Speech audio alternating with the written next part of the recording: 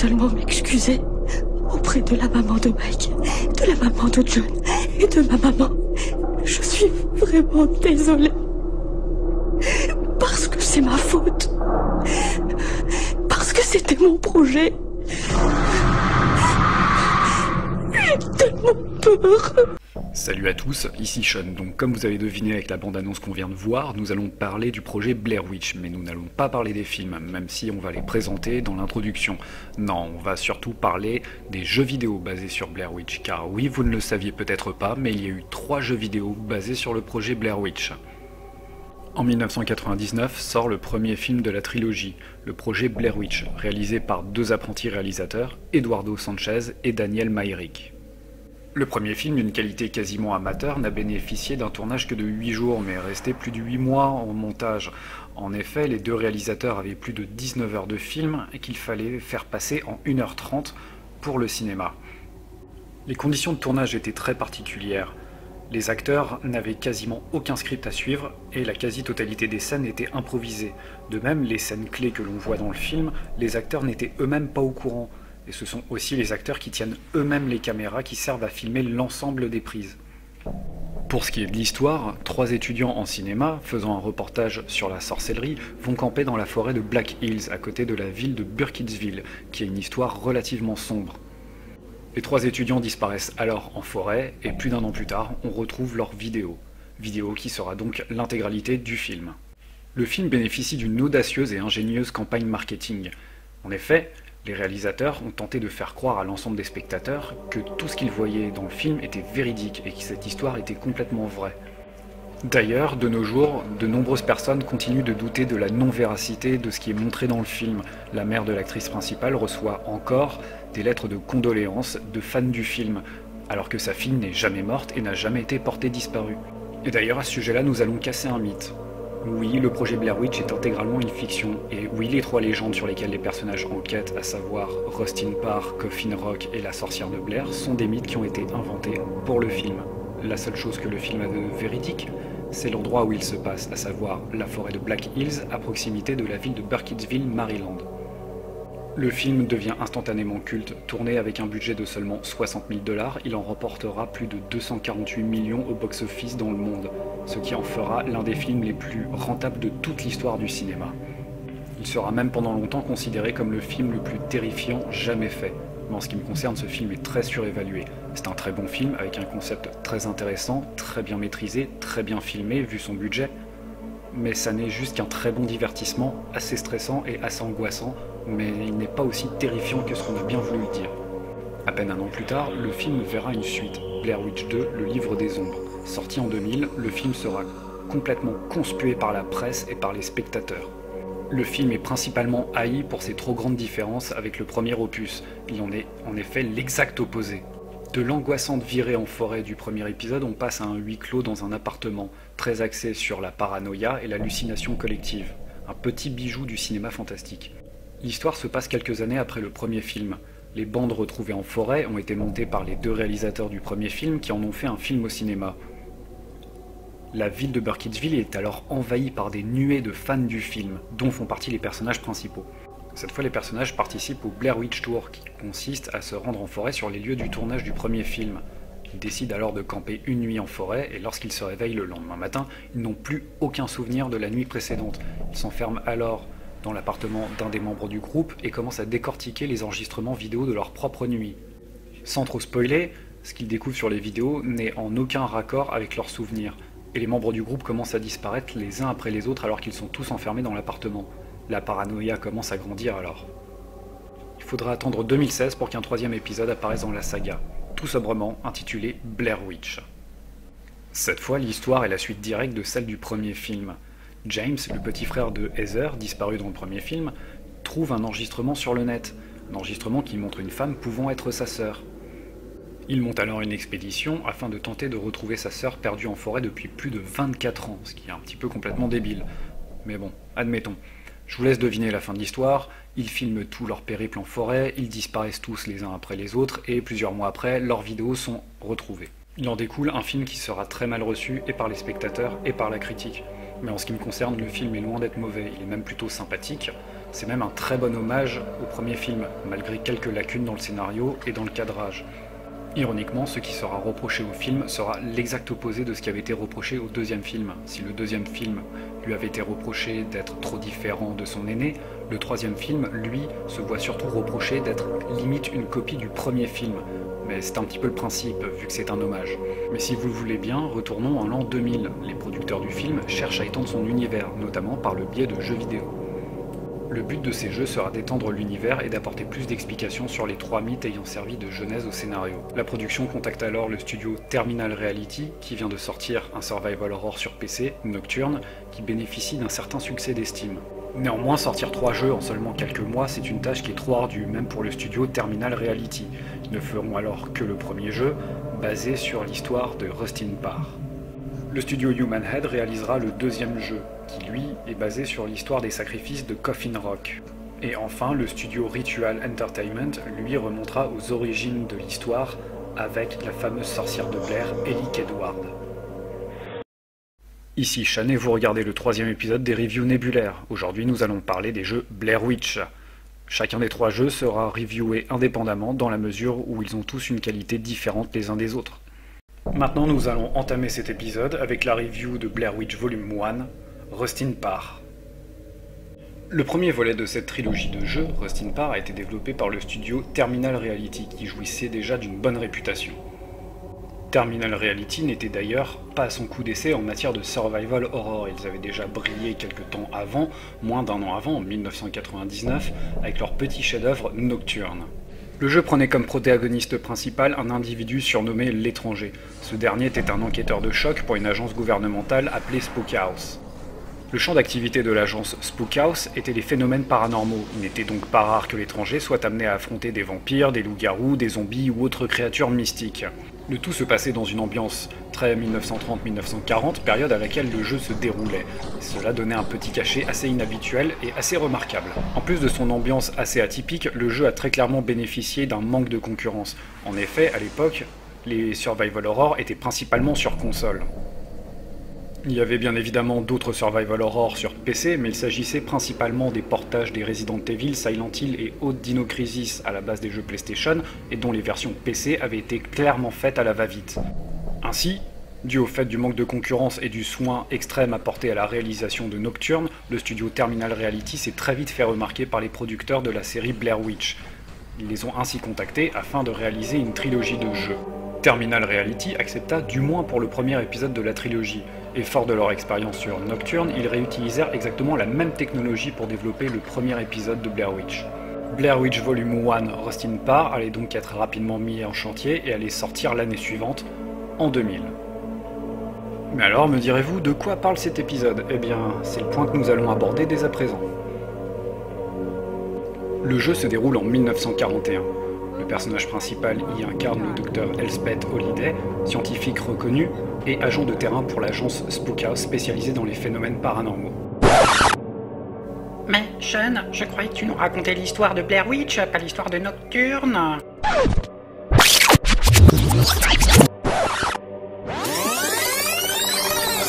Ok, alors reprenons. L'intrigue de cet épisode fait non seulement office de préquel à la série de films Blair Witch, mais est aussi un crossover avec Nocturne créé par le même développeur.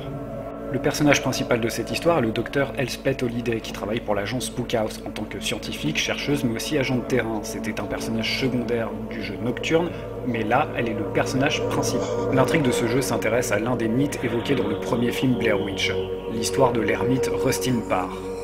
Entre 1940 et 1941, huit enfants ont disparu de la ville de Burkittsville dans l'état du Maryland. Plusieurs mois après la première disparition, l'ermite Rustin Parr, vivant en marche dans la forêt, arrive en ville en disant J'ai enfin terminé. Intrigué par ses propos, le shérif de la ville et plusieurs de ses adjoints se rendent à 4 heures de marche au fin fond de la forêt dans la maison de Rustin Parr. Ce qu'ils vont y découvrir fait froid dans le dos. Dans le sous-sol de la maison, ils vont découvrir sept tombes creusées à la va-vite. Sept tombes qui ont été faites pour sept des enfants disparus. Un huitième enfant, Kyle Brody, le premier ayant disparu, a été retrouvé vivant dans la maison. Il semblerait que ce dernier ait été forcé à être témoin des exactions de Rustin Parr sur ses camarades. Ce dernier semble depuis lors dans un état catatonique et personne n'a réussi à communiquer avec lui. Mais les déclarations que va faire Rustin Parr lors de son procès sont d'autant plus troublantes. Lors de sa déposition, il va affirmer qu'il n'a pas agi de son plein gré, mais sous la contrainte, sous la contrainte du fantôme d'une vieille femme. Ces déclarations vont mettre toute la ville en émoi et il en faudra peu pour que les vieilles légendes sur la sorcière de Blair morte il y a plus d'un siècle ressurgissent. Ces rumeurs parviennent jusqu'aux oreilles de la direction de Spook House, qui commence à s'inquiéter de la situation et se demande s'il n'y a effectivement pas le fantôme de la sorcière qui est réellement à l'œuvre. L'agence va alors envoyer sur place le docteur Elspeth Holiday afin d'enquêter et déterminer s'il s'agit réellement de phénomènes paranormaux ou s'il s'agit tout simplement d'une hystérie collective due à des vieux mythes et de vieilles superstitions. Et maintenant que nous avons posé les bases de l'histoire, vous demandez sûrement qu'est-ce que vaut le jeu graphiquement? Eh bien déjà, dans un premier temps, pour tenter de le découvrir, nous allons le comparer à d'autres survival horror sortis à la même période.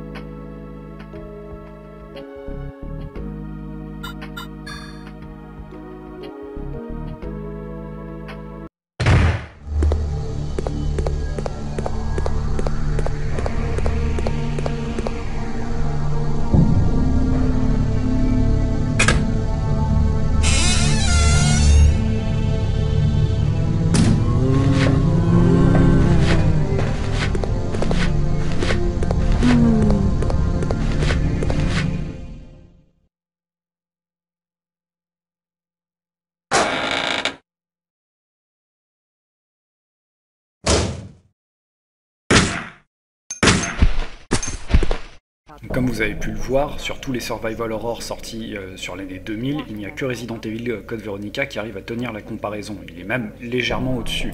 Ce qui n'est pas surprenant puisqu'à l'origine Resident Evil Code Veronica avait été développé pour être une exclusivité Sega Dreamcast, qui à l'époque était la machine la plus puissante sur le marché. Mais néanmoins, Blair Witch Volume 1 Rustin Parr s'en sort plus que très honorablement. Il n'est même carrément pas vilain du tout d'ailleurs pour l'époque.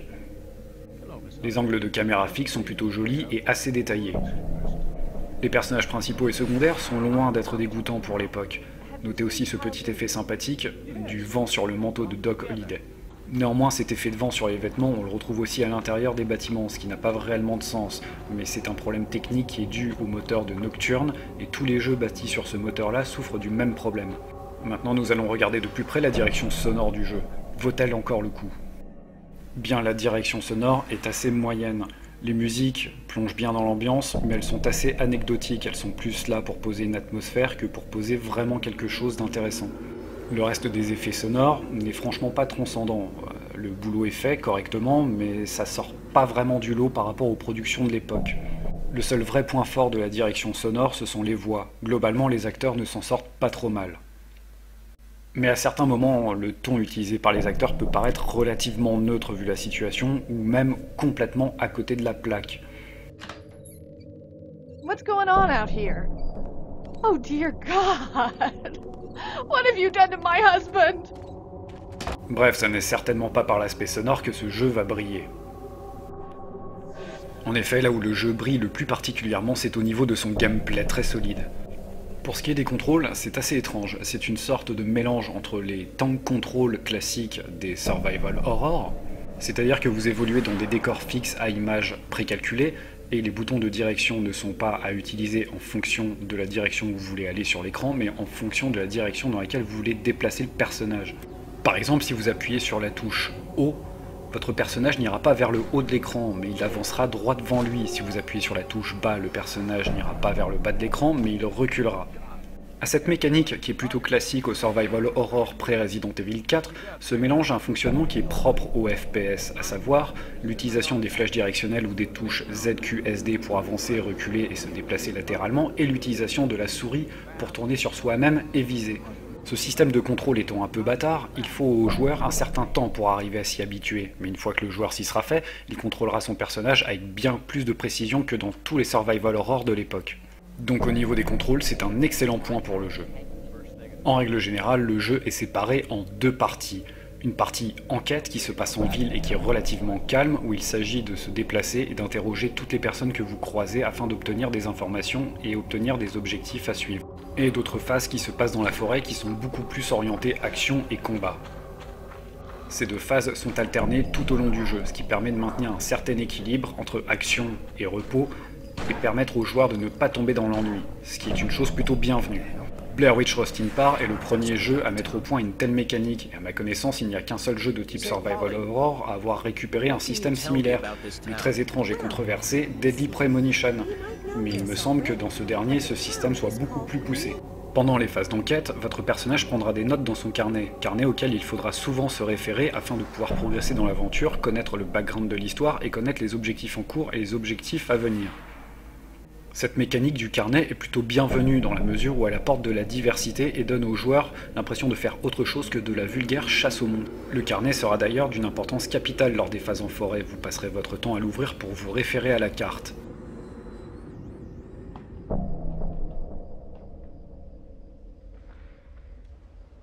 Et puisqu'on parle des phases en forêt, c'est lors de celles-ci que se dérouleront toutes les phases d'action.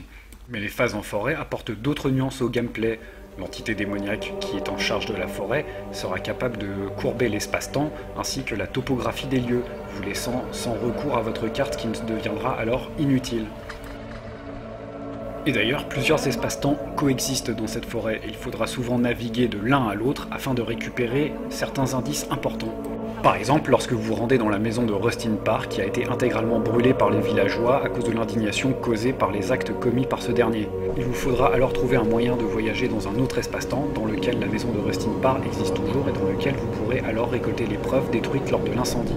Point de détail intéressant, cet aspect des espaces-temps multiples est repris dans le dernier film, ce qui fait que le dernier film est raccord avec les jeux et ne les invalide pas.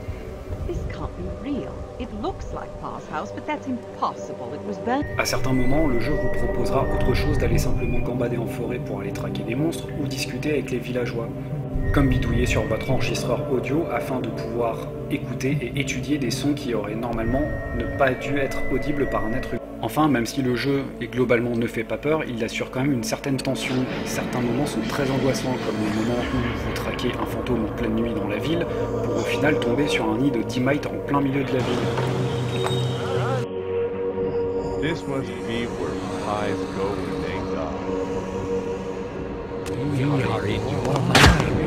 Il est désormais temps d'arriver à la partie finale de la review sur Rustin Parr.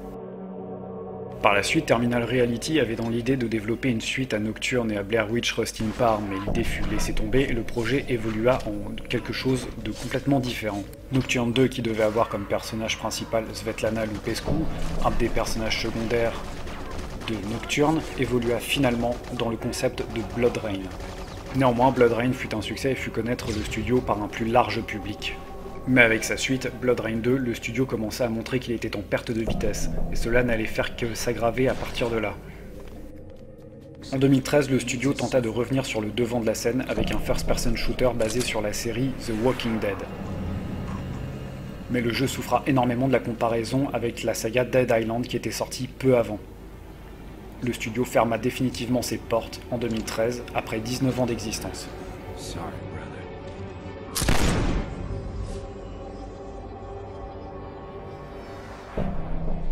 Alors Blair Witch Volume 1 Rustin Park, qu'en dire Eh bien le jeu est très bon, il est à la limite de l'excellence, je vous le recommande très vivement et je lui mets la note de Nebula Stream, ce qui est une bonne note.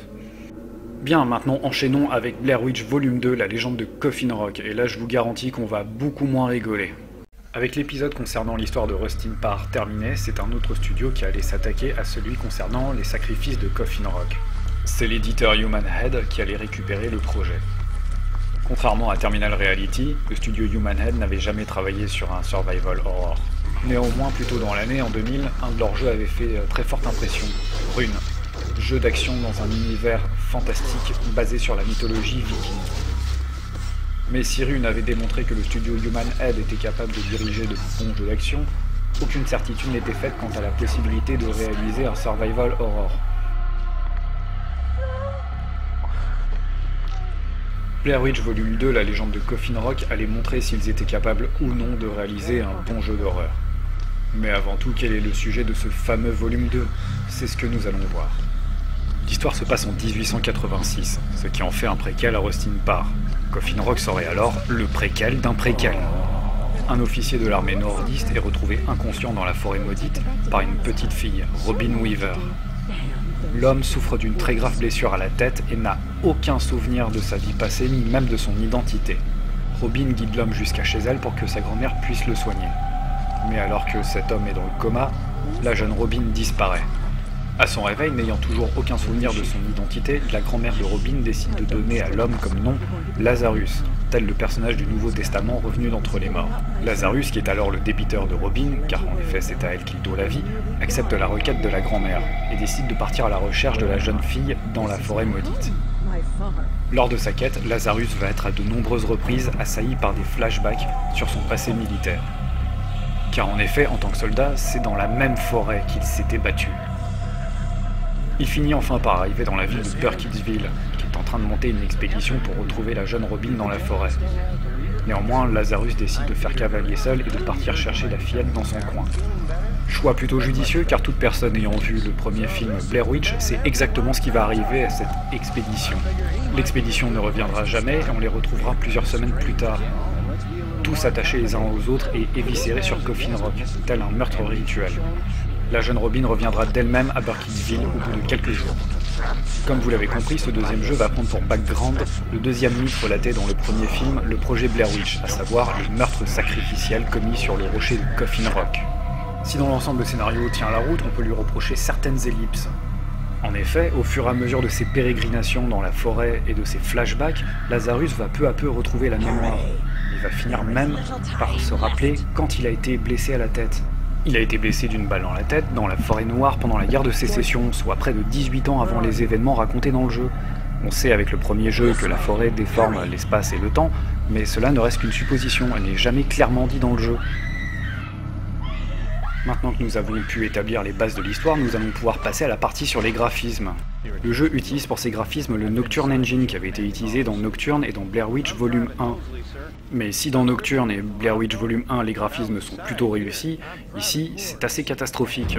Comparé aux graphismes des deux jeux précités, les graphismes de Blair Witch Volume 2 pour les personnages sont très cubiques, le nombre de polygones est très faible, ce qui donne un résultat pas très satisfaisant et pas agréable à regarder. De prime abord, les images en 3D précalculées peuvent sembler assez jolies, mais en réalité elles sont assez mal conçues, dans la mesure où il est toujours assez difficile de savoir où on peut marcher et où on ne peut pas marcher. On sera parfois bloqué par un mur invisible dans un endroit où on pensait pouvoir traverser, alors qu'en fait ça n'est pas le cas.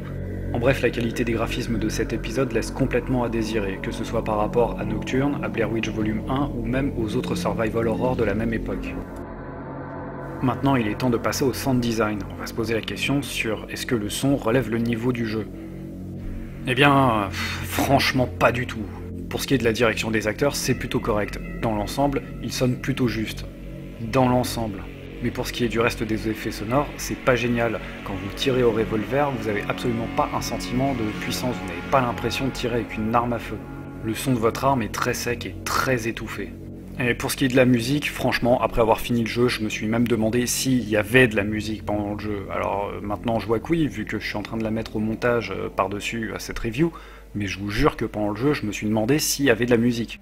Ça démontre bien que la musique du jeu n'est absolument pas captivante et euh, n'a absolument rien de transcendant et même est à la limite de l'inutile.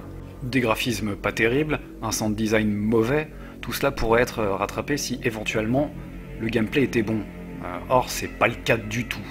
Si le premier volume apportait de la variété dans le jeu en alternant les phases d'action et les phases d'enquête, ici on a que uniquement de l'action, de l'action, de l'action, du combat, du combat. En soi, ça ne pourrait ne pas être mauvais si on prend l'exemple de Resident Evil 4, hein, qui est un survival horror qui est intégralement axé combat, ça marche bien, mais ça marche bien parce que le jeu est dynamique. Ici, le jeu n'est pas dynamique pour un poil. pour un survival horror qui se veut axé combat, c'est un peu triste, il n'y a que 4 armes. Un revolver Colt qui sera un peu l'arme qui vous servira le plus au long du jeu, un sabre de cavalerie qui très clairement ne m'a servi que contre le boss de fin du jeu, une hache dont je n'ai pas réussi à trouver l'utilité en combat et qui m'a seulement euh, servi à couper des arbres pour euh, faire des ponts, et un crucifix capable de repousser les ennemis de type fantôme. Mais euh, le Colt est aussi efficace contre les fantômes, donc au final, l'utilité du crucifix reste discutable. Le jeu alternera entre deux phases, les phases dans le présent et les phases dans les flashbacks, mais au final c'est exactement la même chose. Si dans le présent vous affrontez des monstres, dans les flashbacks vous affrontez des soldats sudistes, mais euh, les mécaniques de jeu sont exactement les mêmes. Il n'y a aucune diversité et c'est assez lassant. Faudra compter à peu près 2 à 3 heures afin de voir le bout du jeu, mais c'est 2 à 3 heures où vous ennuierez fermement à partir de la fin de la première heure. Globalement, à sa sortie, le jeu a été plutôt reçu de façon négative. Et c'est en grande partie dû à cet opus que la saga Blair Witch en jeu vidéo a sombré dans l'oubli. Par la suite, le studio Human Head s'attellera à des projets bien plus intéressants et qui seront bien plus sympathiques à jouer, même voire très bons.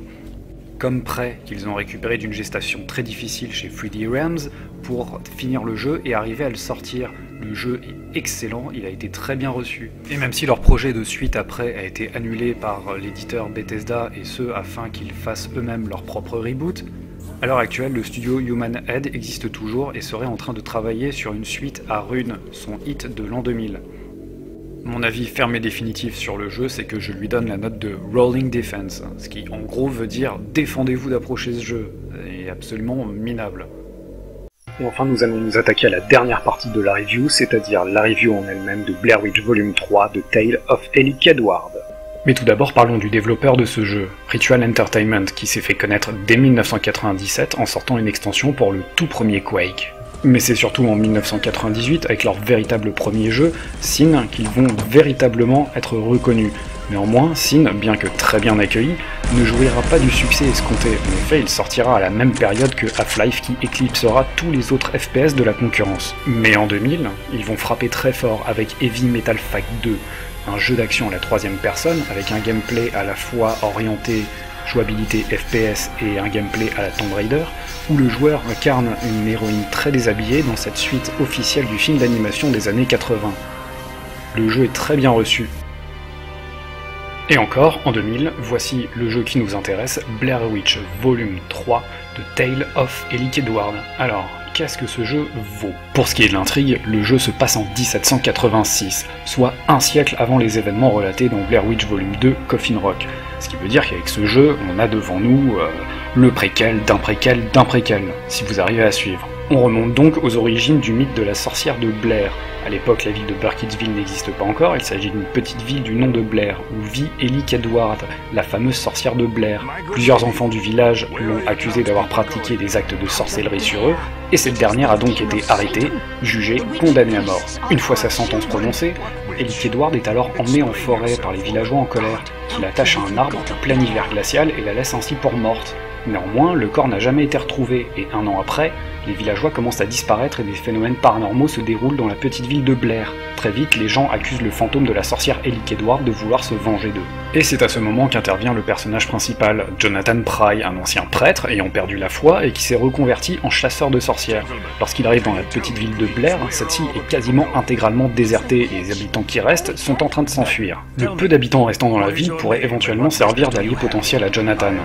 Sur place, il reste le maire qui néanmoins n'est pas très content de la venue Jonathan et espère pouvoir régler les problèmes internes de lui-même, le prêtre, qui lui est très content d'avoir un chasseur de sorcières sur place, l'ivrogne locale qui est emprisonnée, et Elizabeth Styler, qui est elle aussi emprisonnée car accusée de sorcellerie elle-même. Et en parlant d'Elizabeth Styler, elle est bien trop sexy pour être honnête. Et pourquoi je dis ça euh, Tout simplement parce que les développeurs, c'est ce qu'ils veulent vous montrer, et de la façon euh, la moins subtile qui soit, à savoir des gros plans récurrents sur son foutu décolleté. Et dans sa quête, Jonathan sera aussi assisté par Asgaya, un chaman indien, exactement comme dans le premier Blair Witch. Néanmoins, il y a peu de chances que ce soit le même personnage. Je pense que Asgaya est plutôt un titre. Et comme vous l'aurez compris avec la présence de Asgaya, eh ben, on sait directement qui est l'ennemi euh, dans cet épisode. C'est à nouveau Atomics, comme dans les deux premiers épisodes. Donc la sorcière de Blair était tout simplement contrôlée par Atomics. Néanmoins, le jeu fait une très grossière erreur, à savoir à la fin montrer la véritable forme d'Atomics. Si on avait juste vu dans, euh, dans Coffin Rock par le biais de la possession, on avait vu aussi euh, Atomics dans le premier jeu, euh, qui avait une apparence très informe, un peu à la façon d'une Eldritch De H.P. Lovecraft, à savoir une espèce d'entité démoniaque immortelle complotant dans les ténèbres. Euh, non, là ils font la bêtise de lui montrer, euh, de montrer sa véritable forme, une sorte de scorpion fantomatique. C'est un petit peu dommage, ça casse un peu le mythe. Et à partir de là, pour avancer dans votre quête, vous allez chercher des indices afin de trouver la localisation exacte de Ike pour le défaire et de mettre fin à ses plans ténébreux. vous passez bien évidemment par l'habituelle forêt de Black Hills, mais vous irez aussi dans le monde des esprits et dans le monde des démons, car on a à nouveau un système de multimonde parallèle. Le monde des démons, par contre, ressemble vraiment moins bien à l'enfer tel qu'il est présenté dans Doom 3. C'est un petit peu dommage, mais bon. Mais alors, me direz-vous, est-ce que graphiquement le jeu tient encore la route? Ah bah, on va aborder ce point dès maintenant. Alors pour ce qui est des décors, il faut avouer que c'est pas trop vilain, euh, ça passait très bien à l'époque, ça passe même encore pas trop trop mal aujourd'hui si on aime bien les graphismes rétro. Juste un petit problème, c'est en forêt, tout se ressemble. Alors ok, vous allez me dire, dans le premier jeu, c'était aussi le cas, le but c'était de passer son temps à se perdre, mais dans le premier jeu, au bout d'un moment, on finissait par arriver à se repérer dans la forêt, ce qui n'est absolument pas le cas dans celui-là. Les angles de vue sont très désorientants et en plus, vraiment, je le redis encore, tout se ressemble, donc c'est très pénible, on passe son temps à, zioter la carte constamment. En revanche, pour le reste des graphismes, c'est quand même pas terrible, hein. c'est pas génial. On va voir ça euh, point par point. Pourquoi? Mais pourquoi les personnages sont super cubiques, même plus que dans le deuxième épisode, alors qu'il était quasiment pas dans le premier? Pourquoi les personnages n'ont pas de synchronisation labiale alors que dans les deux jeux précédents ils en avaient une? Et pourquoi Iram il est en lévitation au-dessus de sa couchette? Pourquoi les femmes en robe elles ont pas de pieds? Pourquoi il y a une clé sous le bureau du prêtre qui disparaît dans le plan suivant? Je sais que je l'ai déjà dit, mais pourquoi les développeurs ils insistent pour nous faire des gros plans sur la poitrine d'Elisabeth? Pourquoi il y a un monstre du jeu Nocturne qui apparaît dans la séquence d'introduction? Pourquoi graphiquement dans son ensemble le jeu donne l'impression d'avoir été fait complètement à l'arrache Eh bien parce que tout simplement, effectivement, le jeu a été complètement fait à l'arrache. Le délai entre les sorties de chaque jeu était extrêmement court, deux mois, ce qui veut dire qu'en gros ils ont eu six mois pour pondre un jeu de 2-3 heures. Le résultat, c'est que le jeu a des très gros problèmes d'optimisation. Ça se voit très clairement euh, dès que vous activez euh, l'accélération 3D de votre carte graphique. Au niveau des portes, ça clignote, les angles de vue clignotent, ça vous arrache la rétine. Et sur les quatre jeux qui existent, qui ont été faits avec le moteur de Nocturne, à savoir Nocturne et les trois Blair Witch, c'est vraiment le seul jeu qui a ce problème-là. Alors il y a bien un moyen d'y remédier, il suffit d'aller dans les options et de couper euh, l'accélération 3D, mais au moins du coup vous serez au mieux bloqué sur une résolution de 640 par 480p. Je sais pas si vous avez déjà joué euh, à un jeu en 640 par 480p sur euh, un écran plat moderne, mais c'est juste horrible, je vous laisse voir, ça vous arrache la rétine. Donc euh, entre les angles de vue qui clignotent ou une résolution qui vous arrache la rétine du début à la fin du jeu, bah, je vous laisse choisir votre poison.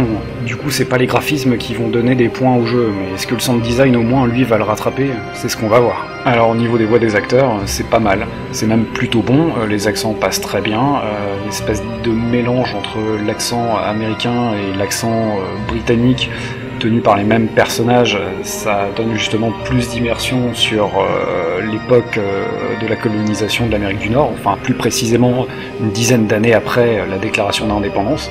Donc sur ce point-là, il n'y a, rien à jeter. Pour ce qui est de la musique, moi je dirais correctes. Elles sont pas trop mauvaises, sans être non plus excellentes.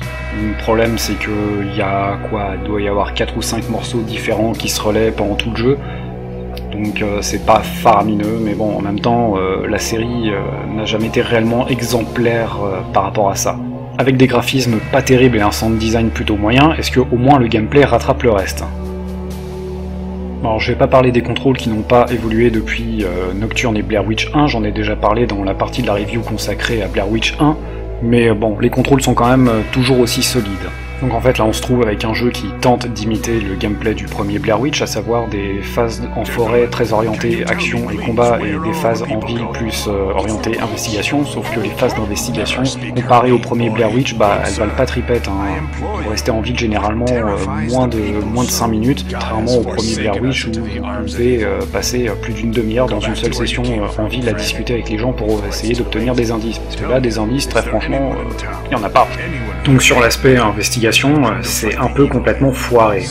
Du coup, le jeu est quand même euh, très orienté action, beaucoup plus que euh, le premier, moins que le deuxième, mais quand même beaucoup plus que le premier. Et alors, est-ce qu'au niveau action, il tient la route? Bah, pas vraiment. Donc déjà, le jeu vous pousse vers le combat. Parce que dès que vous tuez un ennemi, vous avez quasiment 3 chances sur 4 d'avoir soit un objet vous remettant de la vie, des munitions, ou un objet vous remettant de l'énergie magique ce qui casse complètement le principe d'un survival horror qui a pour but normalement de vous faire éviter le combat le plus possible. Là, on vous pousse à aller vers le combat vu que vos seules sources d'approvisionnement, c'est les cadavres des ennemis. Ce qui serait pas une mauvaise chose en soi si c'était bien géré à l'image de Resident Evil 4 dont j'ai déjà parlé dans la partie de la review sur Coffin Rock, où là vous avez un principe qui est similaire, vous récupérez des items et du loot sur les cadavres de vos ennemis. Sauf que dans Resident Evil 4, il y a un vrai sentiment de pression, on vous envoie des vagues d'ennemis à non plus finir. Là, la, quasi-totalité du temps, vous affrontez les ennemis en 1 contre 1, ou alors ils sont deux contre vous. C'est relativement rare que vous affrontez des hordes, et quand ça arrive, c'est lors d'événements scriptés. Donc niveau action, c'est foiré, il n'y a aucune tension, il n'y a aucun stress lors des combats, on est quasiment tout le temps euh, à faire le piquet de grue et à tirer. Du coup, pour essayer de mettre un petit peu de tension dans le jeu, très régulièrement, le jeu vous fera affronter des boss. Sauf que les boss sont complètement ratés. Les affrontements contre les boss, c'est ennuyeux. Mais ennuyeux à mourir. Euh, vous courez euh, en cercle autour du boss et vous tirez jusqu'à ce que sa barre de vie, qui est affichée à l'écran, soit vide. Alors je sais que euh, ça c'est un truc qu'il y avait dans Nocturne, mais le premier Blair Witch, histoire de renforcer la tension, avait pensé à justement retirer cette barre de vie des boss ennemis. Alors je sais pas pourquoi ce jeu-là l'a remis, mais c'était pas une bonne idée. Enfin bon, contrairement à son prédécesseur, le jeu aura au moins l'amabilité de mettre un bon paquet d'armes à votre disposition, mais ça récupère pas le reste. En fait, il n'y a qu'une seule phase du jeu qui est réellement difficile, c'est le boss de fin. Et le boss de fin est par contre d'une difficulté, mais clairement abusée par rapport au reste du jeu. Le boss est capable de vous drainer l'intégralité de votre barre de vie en à peine une seconde si vous faites pas gaffe, peut bloquer vos attaques magiques, et en plus, il invoque à l'infini des zombies. Donc non, l'affrontement final est vraiment très pénible. Et franchement, à part la bataille finale, le jeu est quand même super mou. Donc bon, à la vue de tous ces éléments, maintenant je suis prêt à rendre mon verdict sur ce troisième jeu Blair Witch. En 2000, à sa sortie, le jeu a été reçu de façon plutôt froide et par les critiques et par les joueurs, bien qu'il ait été reçu de façon euh, plus chaleureuse que l'épisode précédent. Et malgré cet échec, le studio Ritual Entertainment a continué son petit bonhomme de chemin en sortant euh, un certain nombre de jeux plutôt sympas comme euh, la suite à Sin, Sin Episodes, qui aurait dû euh, être une suite en plusieurs épisodes, comme son nom l'indique, mais qui ne fut qu'un seul épisode, dans la mesure où en 2008 ils furent rachetés par Mumbo Jumbo. Et donc depuis, les développeurs de chez Ritual Entertainment, pour le compte de Mumbo Jumbo, se contentent malheureusement de développer des freemium pour euh, mobile. Mais si je dois donner mon avis personnel sur le jeu, je ne dirais pas que c'est un mauvais jeu, il est très jouable contrairement à l'épisode précédent. Par contre, il est mou, il est mou et on s'y ennuie très sec. Donc euh, pour moi, le jeu euh, est à éviter, sauf si vous voulez absolument le tester parce que vous avez aimé le premier. Mais euh, bon, sinon, pas grand intérêt. Et pour la notation, ce sera un Rolling Defense. En guise de conclusion générale, je vous dirais que le troisième jeu est plutôt à éviter, le deuxième jeu est absolument à éviter, quant au premier, il est absolument à tester. D'ailleurs, ce qui est bien avec le premier, c'est qu'il est tombé en abandonware, ce qui fait qu'il est gratuit. Le lien est dans la description. À vous de voir. Alors récemment, je vous avais promis une review de Deus Ex qui allait venir après la prochaine review. Euh, ça va pas se faire, du moins pas à court terme. Euh, j'ai eu un problème avec mon ordi, j'ai dû reformater, du coup j'ai perdu euh, plus de 22 heures d'enregistrement sur ma partie de Deus Ex, et je vous avoue que très clairement, j'ai carrément la flemme de me retaper les 22 heures de jeu que j'ai faites. Donc euh, on va passer euh, sur autre chose et je ferai Deus Ex quand euh, je me sentirai de nouveau prêt à, le refaire. Donc pour ce qui est de la prochaine review, je vous laisse un petit avant-goût avant de partir et puis bah pour moi c'est une fin de vidéo et bisous à tous, salut. Eh